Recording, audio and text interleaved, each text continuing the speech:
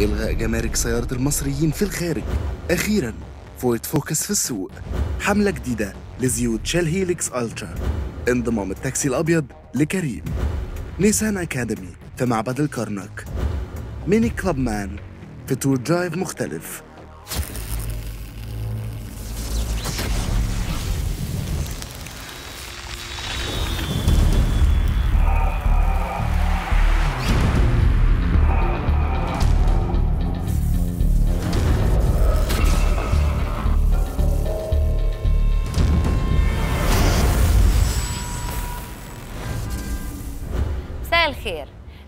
نبتدي حلقتنا النهارده بمجموعة من أهم أخبار الأسبوع.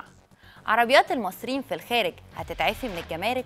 ده اللي هنشوفه وقريب جدا لأن وزارة الهجرة وشؤون المصريين بالخارج بدأت في دراسة الإعفاء ده بالتعاون مع وزارة المالية والداخلية والبنك المركزي ومصلحة الجمارك علشان توفر المصريين المغتربين الاستفادة من إعفاء عربياتهم الشخصية من الجمارك مع عودتهم.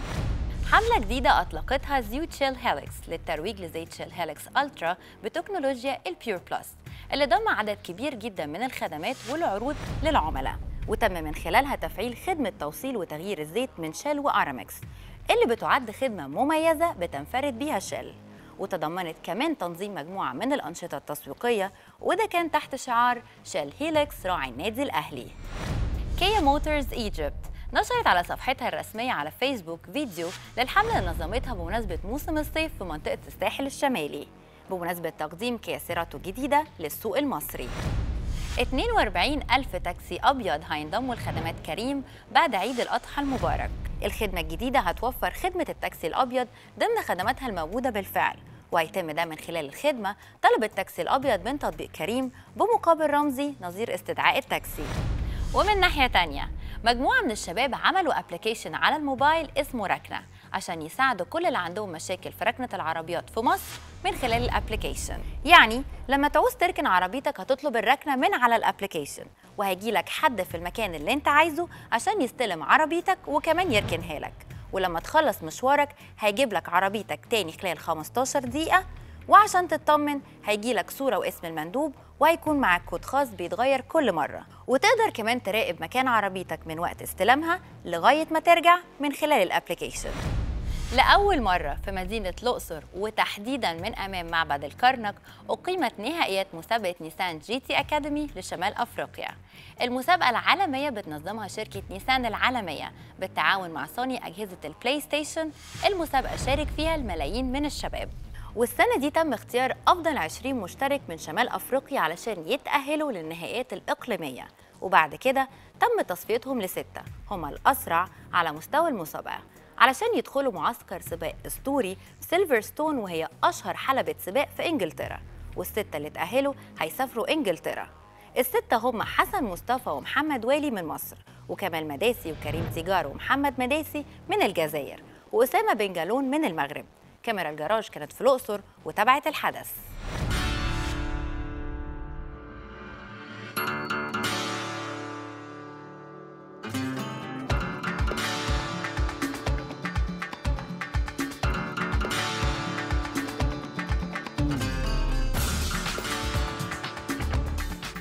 I'm here in Luxor today to supervise the national final of North Africa, where competitors from Algeria, Morocco, and Egypt have been competing for six places at race camp in the UK, where someone will be win a life-changing prize to race for Nissan in a GT4 at the Dubai 24 Hour. I've been asked the question today uh, whether uh, North Africa competitors uh, will have a chance at race camp. And from what I've seen today, um, I see right, no reason why a competitor from North Africa uh, couldn't win race camp. Uh, for sure, the competition is going to be tough. Um, every competitor that enters GT Academy is hungry for this prize. Uh, they will fight hard for the prize um, because they know what's at stake, they know what's on offer.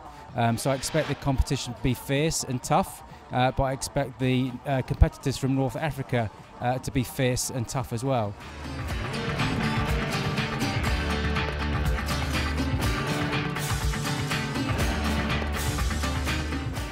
Impact of GT Academy here in North Africa has been enormous. Where not only we have uh, so many motor fans in Egypt, Algeria, and Morocco. But there are a lot of people who are enthusiastic about the innovation and excitement. Nissan is always trying to bring the innovation that excites everyone, and we believe that the GT Academy uh, not only reach out to those people in the 20s, but also those people who love the motorsports, who love the excitement, that are in the 30s and the 40s. So throughout the GT Academy, we are not only trying to aim the motor fans, but also for those who are not interested in driving Nissan, may give the opportunity to touch and taste the brand Nissan. اليوم كان جميل جدا جدا انتهى نهاية سعيدة جدا آه، ربنا قدرني الحمد لله وتأهلت ال- للنهائي في سيلفرستون آه، هنعمل آه، هنعمل يعني اللي علينا إن شاء الله. ويعني يا رب تبقى سفرية حلوة إن شاء الله في سيلفرستون 10 أيام هيبقوا جامدين جدا. نحن فرحانين وما زال الأكبر هو في إنجلترا في ال Race Camp في سيلفرستون سوف نبذل كل مجهوداتنا لكي واحد من North أفريقيا يتمكن من الفوز في هذا ال competition هذه هي السنة الثانية أشارك في نهائيات نيسان GT Academy شمال إفريقيا. المسابقة كانت جد صعبة ولكن الحمد لله الله وفقني وتأهلت للنهائيات الدولية في سيلفرستون في إنجلترا.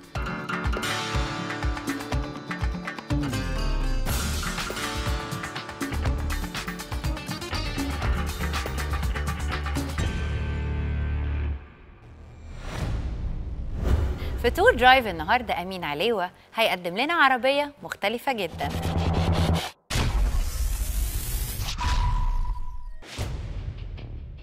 العربية اللي موجودة معانا النهاردة في ال Tour Drive ما نقدرش نقول إنها عربية منتشرة في الشوارع المصرية بس نقدر نقول إنها عربية محبوبة من كل الناس لأنها من أول ظهورها لحد النهاردة لسه محافظة على طابعها وشكلها.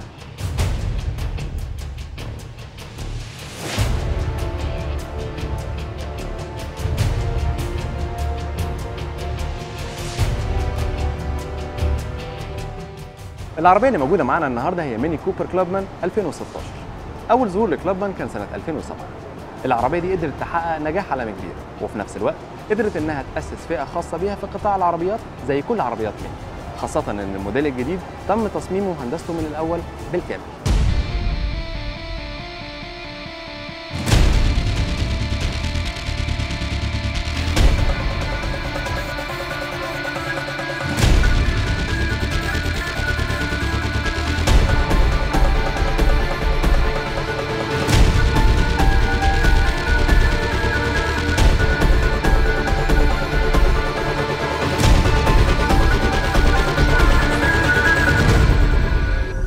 قبل كده. Clubman الجديدة مختلفة كتير عن الطراز اللي قبلها بس في نفس الوقت محافظة على الشخصية الكاريزمية اللي بتميزها عن أي عربية تانية وبرضه بتميزها عن كل موديلات ميني. Clubman بتعتبر من أكبر طرازات ميني وفي نفس الوقت أكثرها عملية. لو بصينا على الشكل العام للعربية هنلاقيها تندرج تحت فئة الهاتشباك الفخمة. فيها أربع أبواب وباب خلفي للشنطة بس باب الشنطة مقسوم نصين يعني نقدر نقول ست أبواب. ولو ركزنا على وش العربية هنلاقيها بتتمتع بنفس مكونات التصميم الأساسية اللي بتميز عربيات ميني وبتخليك تتعرف عليها من أول نظرة زي شكل الفوانيس الدائرية ال LED وال fog lights لكن العربية بتضيف لمسة انسيابية من خلال فتحات التهوية اللي بتتعرف باسم الستائر الهوائية. لو بصينا على جنب العربية هنشوف برضو فتحات الهواء اللي موجودة ورا العجلات الأمامية ودي بتكون أول مرة ميني تعمل كده في موديلات من موديلاتها. وكمان لو جينا لظهر العربية أكتر حاجة مختلفة فيه واللي بيميزها عن كل عربيات ميني التانية هي شنطة العربية اللي مقسوم نصين عشان تخلي التعامل معاها سهل جدا عند استعمالها. وكمان ممكن كل باب يفتح لوحده تلقائيا وده من خلال حساس استشعار لحركة الرجلين بمجرد ما يقرب الراكب من الشنطة. ده بالإضافة لتصميم الفوانيس الخلفية الأفقي والمدمج في أبواب الشنطة. وخط السقف الطويل نسبيا اللي بيضم اريال الراديو اللي بتاخد شكل spoiler مع نور تنبيه فرامل ال اي دي ده بالإضافة للشعارات المتعددة اللي متثبتة على أبواب العربية الخلفية المزدوجة. وبالنسبة لأبعاد العربية طول العربية 4 متر 25 سم عرضها 1 متر 80 سم الارتفاع 1 متر 44 سم قاعدة العجلات 2 متر 67 سم والأبعاد دي بتساعد العربية على إنها تحافظ على نمط جو كارت المميز المعروف عن سواقة عربيات ميني المختلفة. واللي بيساعد على تحسين الأداء الديناميكي خاصة في المناورات والملفات الحادة. وعلى مستوى مساحة الشنطة هنلاقي إن السعة اللترية هي 360 لتر وبتوصل لحوالي 1250 لتر مع تاني الكراسي الخلفية. وده معناه إنها بتوفر أكبر سعة تحميل على الإطلاق ما بين كل موديلات ميني. كده يبقى خلصنا كل حاجة بره العربية. ما فاضلش غير الموتور وهكلمكم عنه كمان شوية.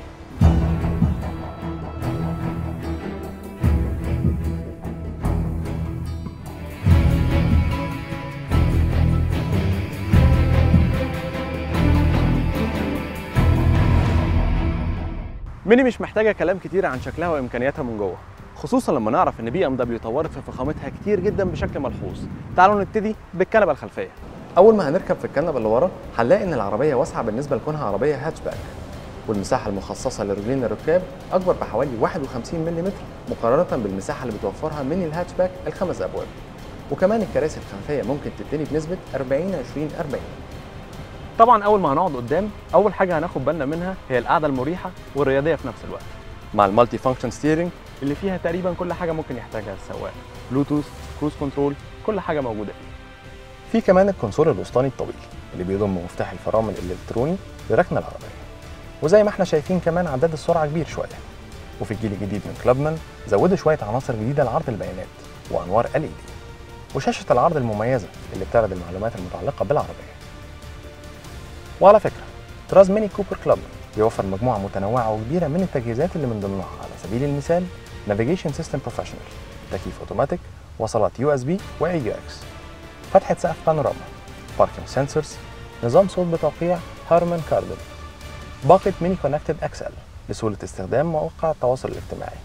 head up display جنوط 17 بوصة وزرار start stop engine لتشغيل وتبطيل العربية بدون مفتاح. وعلى فكرة الكراسي كهرباء وفيها memory علشان تسجل عليها قعدتك المفضلة. والموضوع ده أول مرة تستعين بيها ميني. وخاصية لوجو ميني اللي بيتعرض على طريقة البروجيكتور من المرايات الجانبية على الأرض. وهي الخاصية اللي بتضيف لجاذبية العربية وبتسهل الدخول والخروج من العربية في الأماكن الضلمة بالنسبة للأمان العربية بتوفر تجهيزات كتيرة جدا من ضمنها فرامل ABS ده غير ست air bags وأحزمة أمان ثلاثية التثبيت. ونظام مراقبة ضغط الهواء في الإطارات وغيرها. ونظام التحكم الإلكتروني في الثبات DSC ونظام الحد من الانزلاق في الملفات CBC والتحكم في التماسك DTC ومساعد الركن في الأماكن الضيقة PDC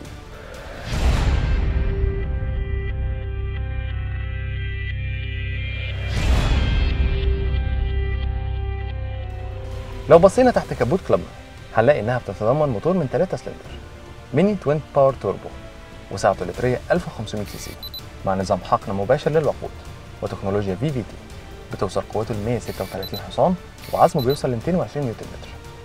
موتور Clubman بيتصل ب gearbox أوتوماتيك 6 سرعات من فئة Steptronic اللي بيوفر سلاسة كبيرة في نقل السرعات مع تحسين الطابع الرياضي الديناميكي.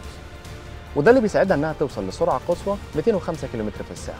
أما التسارع من 0 ل 100 كم فبيكون خلال 9 ثواني 1 من 10 أما استهلاك البنزين فهو 5 1 من 10 و5 و3 من 10 لكل 100 كم وده اللي بيخلي كلوبمان عربية اقتصادية.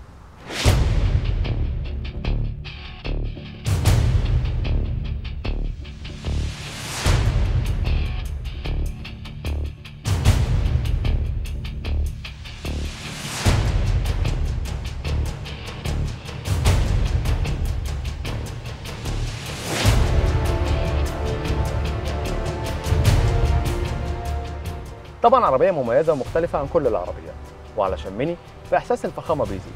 العربية دي تصلح للشباب والأسر الصغيرة اللي بتحب السفر والانطلاق وفي نفس الوقت محتاجة عربية عملية.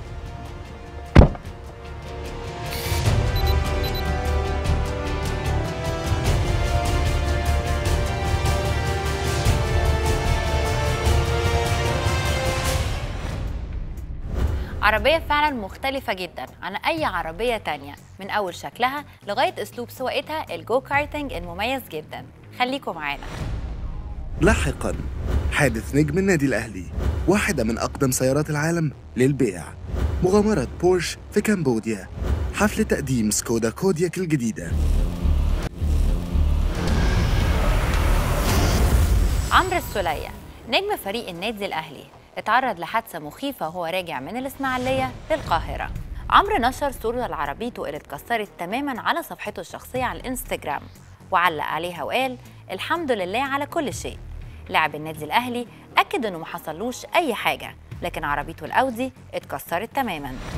فالي فيزافي موديل 1897 اتعرضت للبيع في مزاد يوم الأربعاء اللي فات. ولحد وقت البرنامج معرفناش السعر النهائي اللي اتباعت بيه العربية لكن من المتوقع إن يوصل ثمنها لاكثر من مليون دولار. العربية بتعتبر من أقدم العربيات الموجودة في العالم بحالة كويسة وكانت بتنتجها شركة هنري فاليه في فرنسا قبل ما تقفل سنة 1902 مجموعة من عربيات بورش من طرازات Macan و Cayenne من فئة ال SUV شاركت في مغامرة مختلفة في كمبوديا عشان تستعرض قدرات العربية القوية جدا على السواقة في المناطق الوعرة. المغامرة تمت تحت رعاية شركة بورش علشان تبين من خلالها القدرات العالية جدا لطرازات Macan و Cayenne في مختلف الظروف. بعد فترة تسويق طويلة أخيرا سكودا كشفت عن الموديل الجديد Kodiaq اللي بيظهر لأول مرة واللي بيعتبر أول عربية فئة SUV الأكبر حجما بتنتجها الشركة التشيكية وبالمناسبة دي الشركة نظمت احتفالية ضخمة في مدينة برلين لتقديم العربية عالمياً. العربية بتتميز بتصميم داخلي وخارجي فخم وكمان بتضم مجموعة كبيرة من التجهيزات اللي بتعتبر أوسع عربية في فئتها. الشركة هتبتدي حجز العربية نهاية السنة دي وهتوصل للأسواق في الربع الأول من 2017 أخيرا شركة هيونداي عرضت الموديل الجديد من آي 10 موديل 2017 واللي هيظهر بشكل رسمي في معرض باريس الدولي نهاية الشهر ده. i10 الجديدة هتكون مزودة بمكونات تصميم جديدة ومختلفة تماما. ده بالإضافة لعدد كبير من تجهيزات الأمان والتكنولوجيا المتطورة اللي من ضمنها نظام ترفيهي معلوماتي جديد. Chery International الصينية أعلنت أن مبيعات عربياتها اللي تم تصديرها خارج البلاد تخطت 275 ألف عربية في أول ست شهور من السنة دي. وده بزيادة 7.6% عن الفترة نفسها من سنة 2015 إجمالي صادرات شيري وصل لمليون فاصلة 2 سيارة بنهاية سنة 2015 يعني بنسبة 38% من صادرات الصين من السيارات. وبكده تحتفظ الشركة بصدارة قائمة السيارات الصينية الأعلى مبيعاً في الأسواق الخارجية للسنة 13 على التوالي. النص الأول من سنة 2016 شهد بيع أكثر من 20 ألف عربية في السوق الإيرانية واللي طبعاً بتعتبر من أكبر أسواق شيري. بعدها على طول السوق المصرية اللي شهدت بيع أكثر من 3078 عربية بعد مرور أربع شهور من ضمها تحت مظلة GB غبور Auto الموزع الحصري للعلامة الصينية في مصر. وبكده تكون من أكبر العلامات الصينية وأكثرها انتشارا في مصر. الأسبوع اللي فات شهد انطلاق بطولة Rev It Up لل drifting بمنطقة 6 أكتوبر. البطولة شارك فيها عدد كبير جدا من السائقين المحترفين وحضرها عدد أكبر من محبي ال drifting في مصر.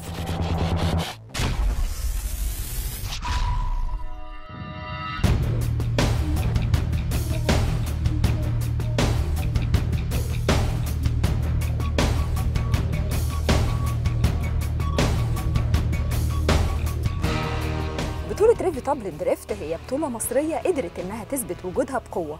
كانت أول جولاتها في 22 يناير 2016 وحققت نجاح جماهيري ملحوظ.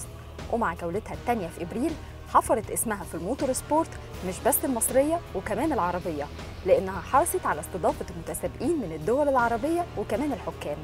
Rev It Up هي أول بطولة drift مصرية تقدم جوائز مالية وذهبية وكمان عينية للفائزين. ومش بس كده هدايا للجمهور من الرعاة الكبار اللي دايما بيحرصوا على التواجد فيها. البطولة دي بينظمها فريق ريفي توب تيم بقيادة كابتن سامح عبد القوي. كاميرا جراج تواجدت في الجولة الثالثة اللي أقيمت في 2 سبتمبر وشارك فيها 65 متسابق من محترفي رياضة السيارات.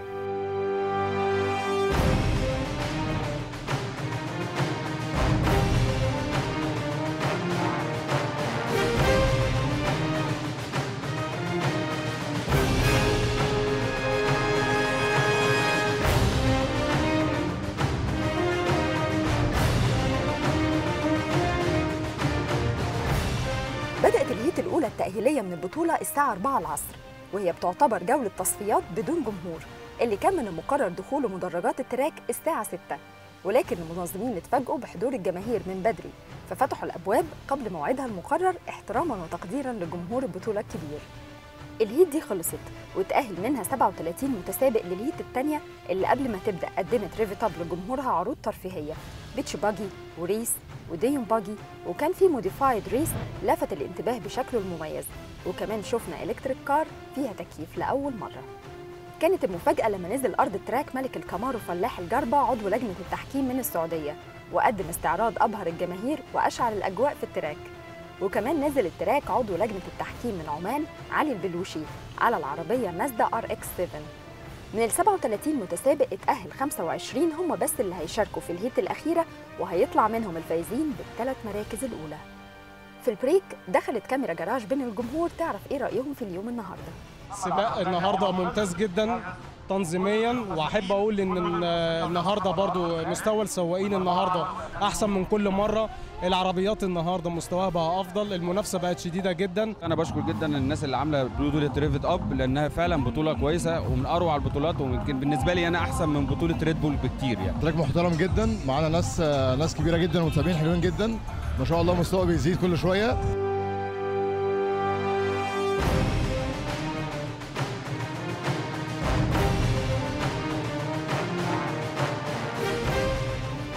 ال heat الثالثة والأخيرة الأدرينالين كان عالي جدا في كل مكان والمتسابقين ال 25 بصراحة أبدعوا وال red smoke انتشر في ال track. لكن رياضة السيارات مش بس سواق محترف في عوامل تانية كتير وغير متوقعة ممكن تغير النتائج في لحظات وبكده ما بقاش فاضل غير إن لجنة التحكيم تعلن النتائج علشان نشوف مين هم أبطال الجولة الثالثة من بطولة Rev It Up لل drift. مذيعين الجراج كان ليهم حضور مختلف في بطولة Rev It Up لل drift. مش بصفتهم مذيعين ولكن ككباتن. عندنا كابتن محمد زلط وكابتن حسام سليمان شاركوا بعربياتهم كمتسابقين. وكمان ياسمين سامي اللي بتنتمي لفريق تنظيم البطولة.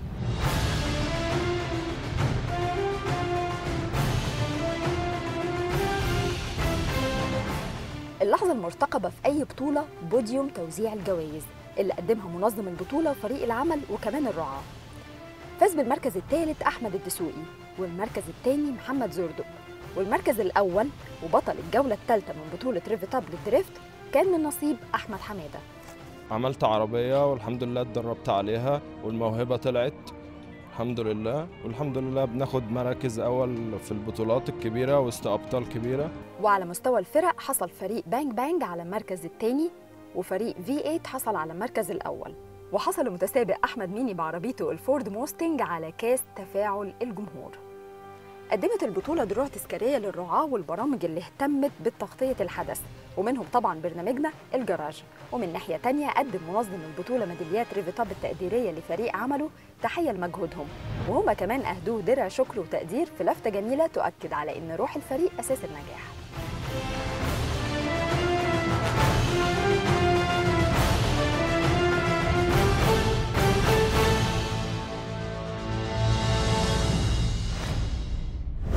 تعالوا نستمتع بجمال العربيات الكلاسيك مع إلهامي عزت.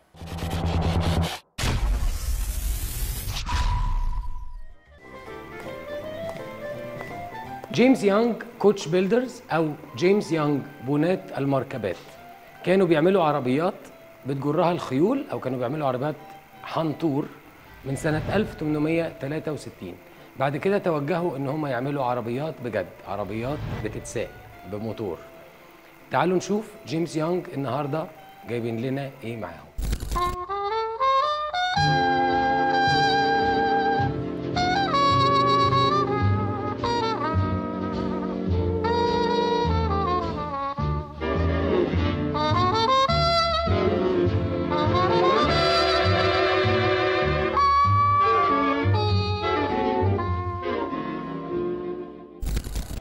رولز رويس وبنتلي من أهم شركات العربيات في العالم اللي عملت على مر التاريخ أكبر وأغلى وأفخم عربيات شفناها.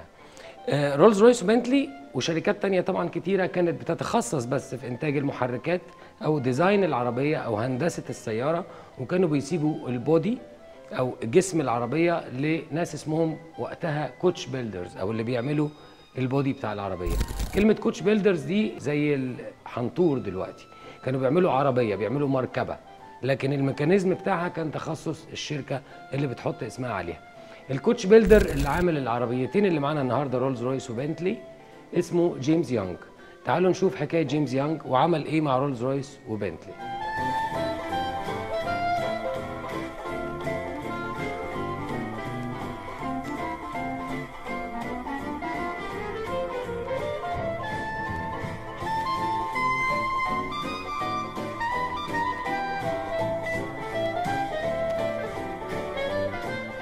أول عربية معانا من آه، عربيات جيمس يونغ معانا البنتلي مارك 6 موديل 1951 العربية يمكن أكتر حاجة مميزة فيها لونها لونها off white أو مدي على أصفر أو نقدر نقول أبيض مصفر.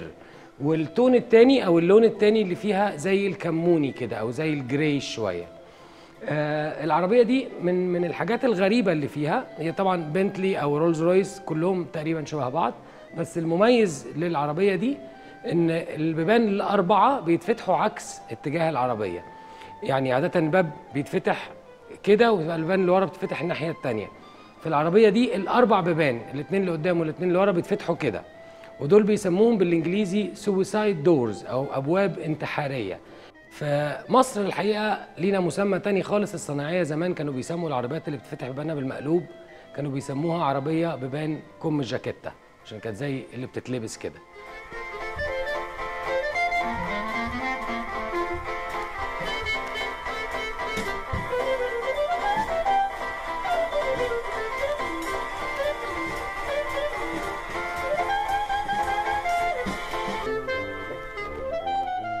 بعد ما شفنا البنتلي اللي من إنتاج جيمس يونغ دلوقتي بنتفرج على العربية الرولز رويس العربية الرولز رويس دي موديل 1948 آه لونها طبعا مميز جدا الأخضر أو ال British racing green ال British racing green ده إنجلترا كانت بتستعمله في كل عربياتها وقت السباقات لأن كان كل دولة ليها لون.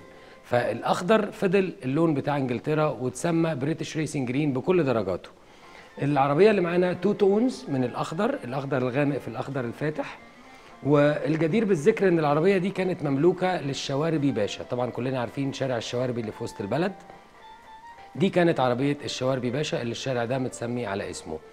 آه الرولز رويس طبعا مشهورة بالفخامة ولذلك هنلاقي العربية من جوه معمولة بالجلد الطبيعي الأبيض. الخشب اللي مالي التابلو وال framing اللي حوالين الإزاز. الترابيزات اللي بتتفتح في ظهر ال- الكراسي عشان اللي قاعد ورا يقدر يكتب حاجة أو يقدر ياكل حاجة.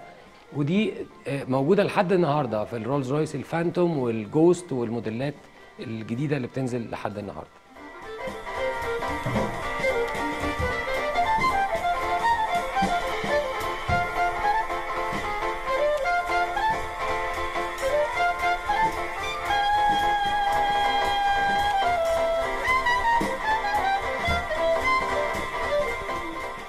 جيمس يانج زي ما شفنا عربيتين من آه، تصنيع آه، coach builders. جيمس يانج عمل كمان عربيات تانية لشركات زي ألفا روميو وتالبوت وسانبيم دي كانت كل معلوماتنا النهارده. نشوفكم في حلقة جاية. إلهامي عزت.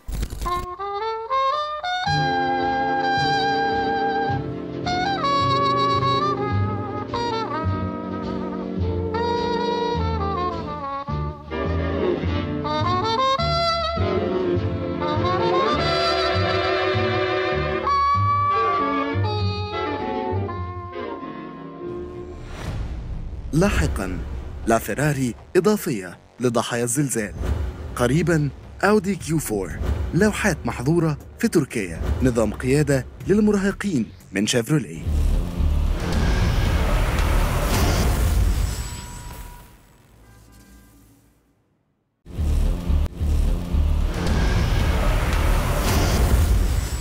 هتنتج نسخة إضافية من موديل لا فيراري المحدود جدا ويتم عرضها للبيع في مزاد علشان تتبرع بثمنها لضحايا الزلزال في إيطاليا. ده اللي صرح بيه سيرجيو ماركوني الرئيس التنفيذي للشركة. وقال إن التبرع ده هو أقل حاجة تقدر تقدمها الشركة للمتضررين من الزلزال.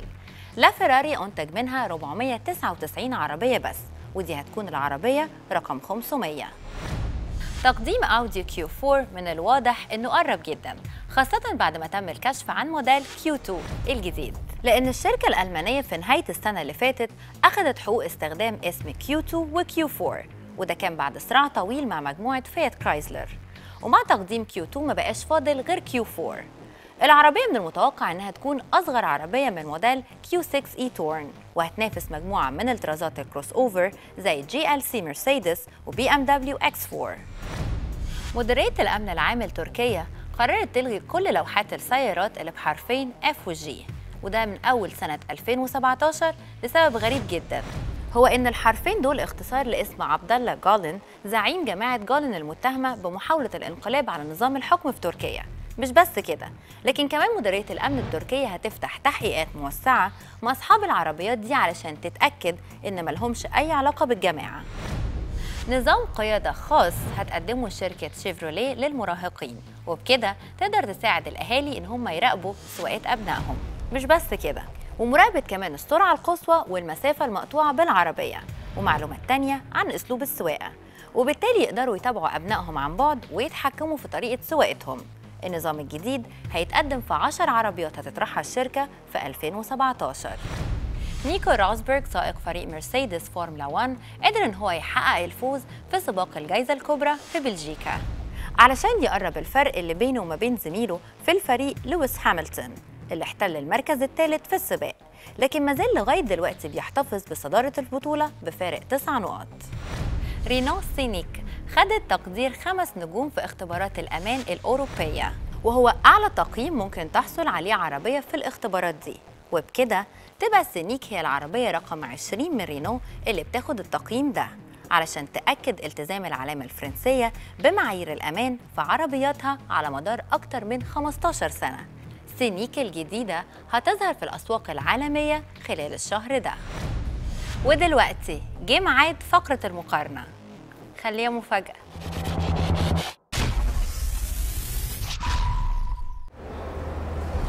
زي ما وعدناكم في الحلقة اللي قبل كده إننا هنكون أول ناس تجرب معاكم العربية الفورد فوكس الجديدة ال 1000 cc EcoBoost إحنا موجودين النهارده في track أوتو فروم العبور علشان ننقل لكم تفاصيل الاحتفالية اللي بتنظمها شركة أوتو جميل وكيل فورد في مصر بمناسبة نزول العربية لأول مرة في السوق المصرية.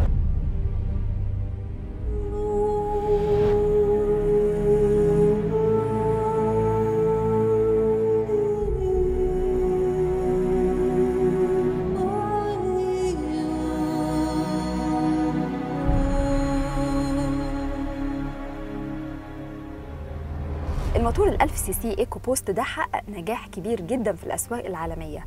اخذ 13 جايزة بالإضافة لأنه بيستخدم في بعض عربيات سباقات فورمولا 1 أهم حاجة بتميز الموتور الجديد هو قوة ادائه العالية.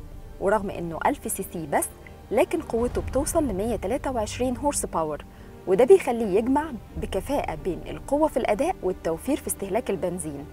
وكمان بيتصل ب gearbox أوتوماتيك ست سرعات استجابته سريعة جدا.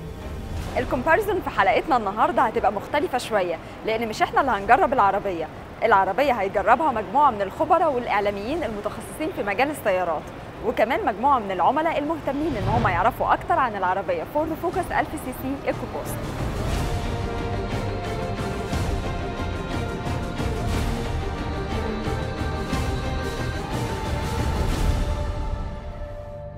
الحقيقة إحنا بنحتفل النهارده بتقديم العربية الفوكس ال 1000 سي سي وهو المحرك الجديد من محركات ال EcoBoost لأول مرة بينزل مصر. أه الحقيقة العربية دي بتمثل تحدي كبير جدا لشركة أوتو جميل لأنه المستهلك المصري لسه مش متعود على إنه يبقى فيه engines بالحجم دوت.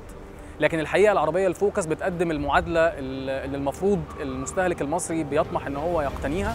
عربية السي سي بتاعها قليل في نفس الوقت ال performance بتاعها عالي جدا 123 horse power و170 نيوتن العزم بتاعها.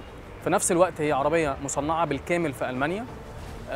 الموتور اقتصادي جدا في البنزين في استهلاك البنزين. العربية بتحط 92 بمنتهى الأمان ومنتهى المرونة. النهارده هنتكلم على محرك جديد اسمه فورد EcoBoost 1.0 المحرك ده 1000 سي سي. ابتكار جديد من شركة فورد حصل على جوائز عالمية. كان أحسن محرك على مستوى العالم ثلاث سنين ورا بعض من 2012 ل 2014 المحرك فيه تكنولوجيا كتير. فورد حصلت في سلسلة المحركات ال EcoBoost على أكتر من 100 براءة اختراع بيعتمد في التكنولوجيا بتاعته على ال turbocharging وبيعتمد كمان على تقنية الحقن المباشر داخل الأسطوانة. ودي اللي بتخلي الأداء بتاع المحرك عالي جدا وفي نفس الوقت بيوفر كمان في استهلاك الوقود.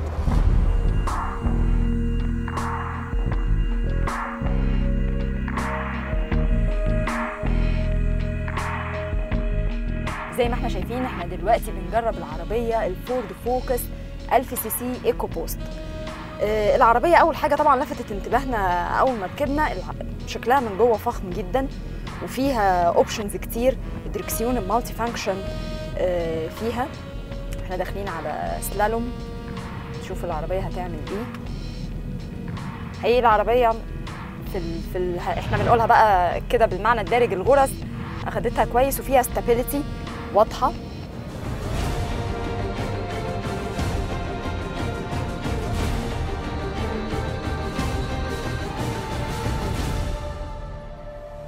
النهارده بن test drive عربية جديدة من عربيات فورد. آه، أنا شايف إنها challenge جديدة لفورد خصوصا engine آه، صعب إنه ينزل في السوق المصري لأن السوق المصري لما بدأ يجرب الثلاثه سلندر كان عنده مشكلة معاها وما قدرش يتطبع بيها. بس عندي إحساس كبير بعد ما كذا حد هيجرب العربية ويجرب الفكر اللي موجود في ال engine ده هيبدأ يتغير عنده مفهوم فكرة الثلاثه سلندر. ثلاثة سلندر بمحرك 1000 سي سي بيخرج 123 حصان هيخليك في لحظات لازم تفهم ال concept ده إزاي. ودي المعادلة اللي شركات كتير بتحاول توصل بيها للشكل اللي بتحلم بيه. ودايما بقول عليها المعادلة الصعبة. إزاي تحقق أقل استهلاك بسعة لترية قليلة ب horse power عالي. العربية الفوكس أنا لسه مستني دوري لأن في queue وفي عدد كبير جدا من الصحفيين عايزين يجربوا العربية. فأنا مستني دوري إن أنا أجربها دلوقتي بس أنا متوقع based على اللي أنا شفته في العربيات الفوكس اللي قبلها اللي هي بال engines العادية.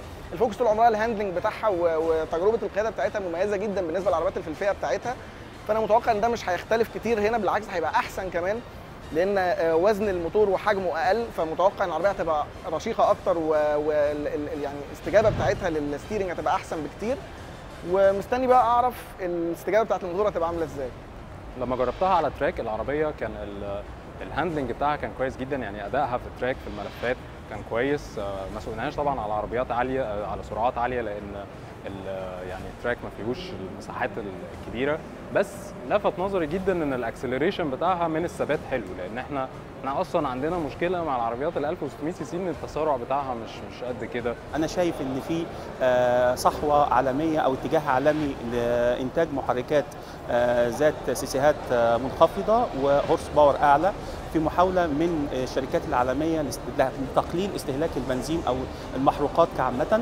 آه، ال- ال- الموتورات الجديدة دي اللي قدمت في من قبل شركات عالمية ومنها شركة فورد في عربياتها الجديدة فوكس آه، أعتقد إن هو نقلة جديدة لفورد فوكس. الناس لازم تجرب عشان تحس ولكن ما تحكمش بمجرد إن العربية آه، سيدان في الفئة العائلية المتوسطة 1000 سي سي 3 سلندر. لا لا لا العربية دي آه، ضعيفة. لا مش حاجة اسمها ضعيفة. التكنولوجيا متطورة جدا آه، فوق ما نتخيل. إذا كناش بنطلع يبقى لازم نشوف ونجرب.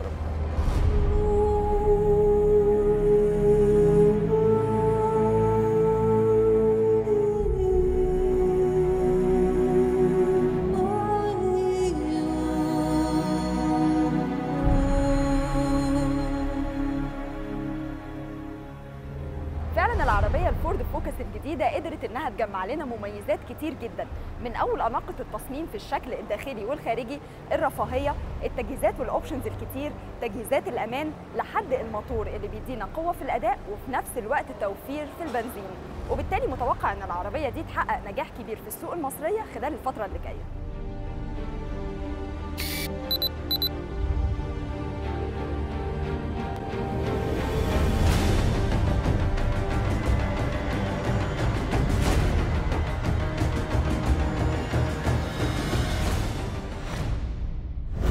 واضح من كلام المتخصصين وحتى العملاء إنها عربية ممكن تعمل تغيير كبير في توجه المستهلك المصري.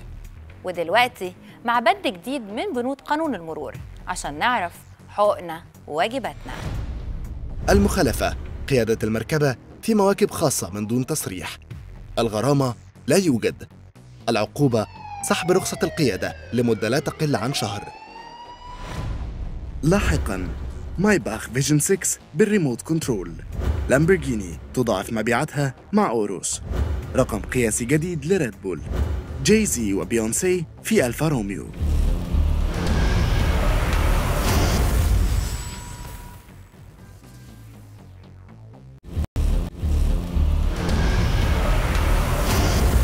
فيديو جديد ظهر على يوتيوب لعربية مرسيدس الاختبارية الجديدة مايباخ فيجن 6 لواحد بيسوق العربية بس من بره. وده كان من خلال جهاز تحكم عن بعد أو remote control واللي بيستعرض التطور اللي وصلت ليه الشركة في مجال القيادة الذاتية والتحكم عن بعد.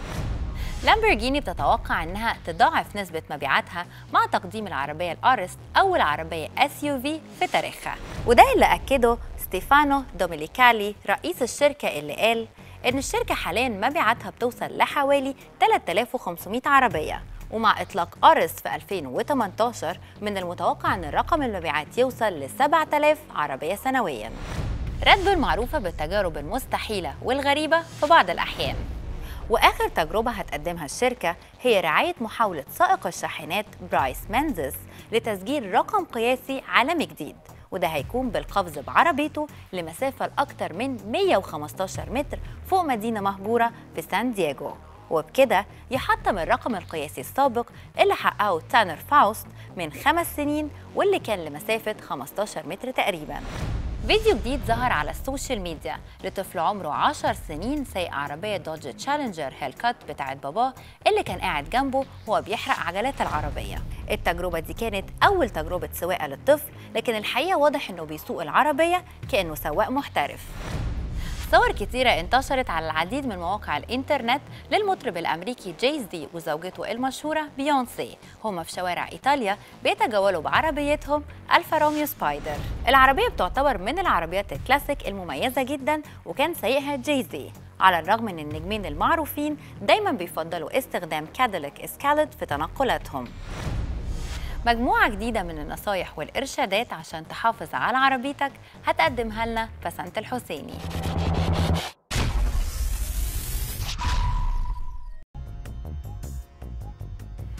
أهلا بيكم في فقرة ال tips. النهارده هنتكلم عن الفتيس أو ال gear box. الفتيس جزء مهم جدا في أي عربية وبيكون فيه نوعين ال manual وال automatic. لكن النهارده أنا هركز معاكم على الأوتوماتيك بسبب انتشاره الموجود في شوارعنا. هعرفكم شوية معلومات عنه وهقول لكم إزاي تحافظوا عليه. خلينا نبدأ بمعلومات عن الفتيس الأوتوماتيك. الفتيس الأوتوماتيك بيبتدي بأربع نقلات أساسية. هي ال D يعني drive وده اللي بيحرك العربية لقدام. وال R يعني reverse وده بيحرك العربية لورا. وال N أو ال normal وده اللي بنقول عليه العربية مور وال P أو ال parking ودي النقلة اللي بنعشق العربية في وضع ثابت أثناء ركنها أو وقوفها لفترة من الوقت. بما إن الفتيس جزء أساسي في العربية فهو أكيد محتاج صيانة زيه زي بقية أجزاء العربية. أول حاجة الصيانة الدورية للفتيس اللي بتحافظ على حالته والزيوت الخاصة بيه. تاني حاجة لما تيجي تقف ما تنقلش من ال D لل P على طول لأن ده بيحمل على تروس الفتيس. هاتها على ال N الأول شد ال hand brake وبعدين وديها لل P تالت حاجة وانت سايق ما تنقلش من ال D لل N لأن بكده انت بتقلل عدد لفات الموتور وبعدين بترجع تعليها تاني لما بترجعها على ال D وده بيأثر بشكل كبير جدا على ال gear box. رابع حاجة والأخيرة وانت سايق ما تحطش إيدك على الفتيس لأنك ممكن تسرح وتنقل نقلة غلط. وده طبعا هيأثر بشكل كبير على ال gear box وبكده تكون خلصت المعلومات اللي جمعناها لكم النهارده عشان تحافظوا بيها على الفتيس أشوفكم الحلقة الجاية. سلام. ودلوقتي جه وقت الركنة في الجراج. الإعلانات واليافط الموجودة على الطريق ضوضاء بصرية ملهاش نهاية. إعلانات ضخمة جدا وكتيرة على كوبري أكتوبر وفي الشوارع وعلى الطرق السريعة كمان. بعضها إضاءته بتكون مبهرة جدا وبطريقة مش مدروسة. ممكن تسبب تشتيت للي سيء وممكن تسبب حوادث كتيرة. بره مصر بتكون الإعلانات دي محدودة جدا وفي أماكن مش عشوائية واللي يعملها هو اللي يقدر على تكلفتها العالية جدا اللي ممكن توازي تكلفة كل الإعلانات الموجودة على طرقنا مرة واحدة. ده طبعا غير إعلانات الانتخابات اللي بتتلزق في أي حتة وبتشوه شكل الشوارع وإعلانات السماسرة والمحامين والمدرسين وشركات الأمن وغيرها اللي بتتكتب على الحيطان في أي مكان بدون تصريح أو ترخيص. علشان كده الظواهر السلبية دي كان لازم تكون معانا. ركنة غلط. من أول حلقتنا النهاردة وإحنا قررنا إن إحنا نبتدي نتواصل مع مشاهدينا ومتابعينا على الفيسبوك واليوتيوب ونجاوب على كل أسئلتكم ورسائلكم اللي بتوصل لنا. تعالوا نبتدي دلوقتي بإجابة على الرسائل اللي وصلت لنا. محمد رمضان بيسأل عن سعر العربية الرينو لوجان رينو متوفرة بست فئات وسعرها بيبتدي من 124 ألف ل 159 وده طبعا بناء على التجهيزات اللي أنت بتختارها. معز محمد بيسأل إيه رأيكم في الالنترا AD 2017 طبعا يا معز الالنترا عربية كويسة جدا وفيها إمكانيات كتيرة مناسبة بالنسبة لسعرها. محمود عبد العال بيطلب نقدم لادا جرانتا 2017 وجيلي امجراند في فقرة ال test drive محمود عايزين نقول لك إن إحنا قدمنا الجيلي الأسبوع اللي فات في فقرة ال comparison واللادا جرانتا 2017 هتكون معانا في الحلقات اللي جاية. محمود محتار ما بين عربيتين. نيسان سنترا وتويوتا كرولا. عايزين نقول لك إن في فرق كبير جدا ما بين العربيتين ما بين نيسان سنترا وتويوتا كرولا مش بس في الشكل الإمكانيات وكمان السعر. نيسان سنترا أقصى سعر بتوصل له هو 177 ألف جنيه بينما تويوتا كرولا فبتبتدي من 235 ألف جنيه. في ناس كتيرة بتسأل على أسعار عربيات مختلفة. أي سعر العربية هتلاقوه موجود في الحلقة الخاصة المعروضة للعربية أو على التكر أو الشريط اللي بيتعرض طول وقت الحلقة. مع رسائل مشاهدينا بتخلص حلقتنا النهارده. ما تنسوش تتابعونا على صفحة الفيسبوك واليوتيوب عشان تتابعوا آخر أخبار العربيات في مصر والعالم كله. وكمان مستنيين كل رسائلكم. نشوفكم الحلقة اللي جاية كل سنة وأنتم طيبين. مع السلامة.